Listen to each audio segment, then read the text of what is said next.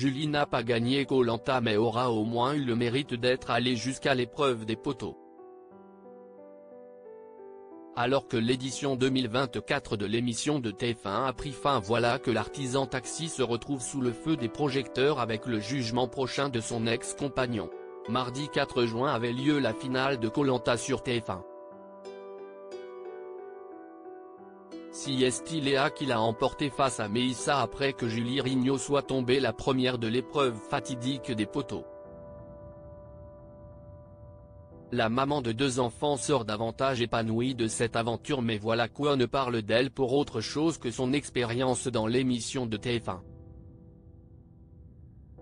En effet, le journal du centre a révélé que Miguel Martinez, championne olympique de VTT et ancien cycliste professionnel, était convoqué au tribunal après que son ex-compagne Julie, a porté plainte pour harcèlement et violation de domicile. La procureure de la République de Nevers a confirmé l'existence de plaintes, d'elle contre lui et de lui contre elle.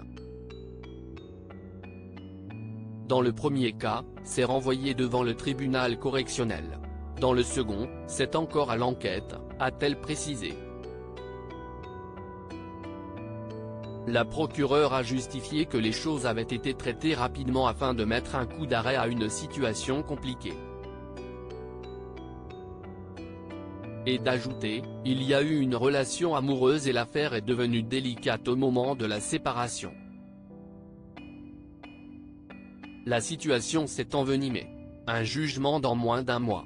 Julie Rignot et Miguel Martinez ont été en couple pendant trois ans et demi et n'ont pas eu d'enfants ensemble.